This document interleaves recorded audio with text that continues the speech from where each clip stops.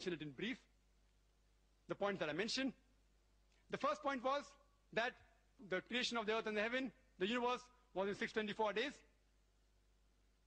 Light was there before the source of light. Point number two. Three, day came into existence before creation of earth. Point number four, earth came into existence before sun. Point number five, vegetation came into existence before sunlight. Point number six, light of the moon is its own light.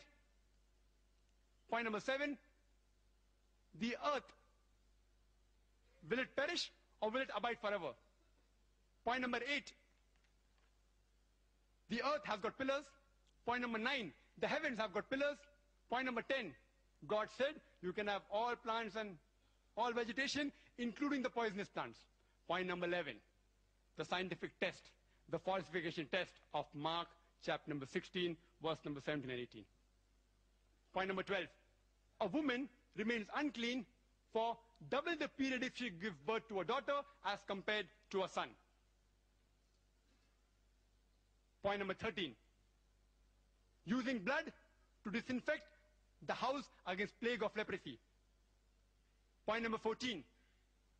How do you find out the bitter water test for adultery? Point number 15. 18 different contradictions in less than 60 verses of Ezra chapter 2 and Nehemiah chapter number 7. I didn't count them as 18 different, I've counted them only as one. Point number 16. The total is different in both the chapters. Point number 17. Are there 200 singing men and women or are there 245 singing men and women? Point number 18. Was Joachim 18 years old or was he 8 years old when he began to reign? Point number 19. Did he reign for 3 months or 3 months 10 days? Point number 20. Did Solomon had 3,000 baths or 2,000 baths? Point number 21 is that Baasha, how could he invade Judah 10 years after his death? Point number 22 is Almighty God.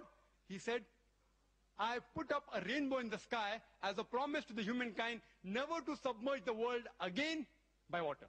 Mm-hmm.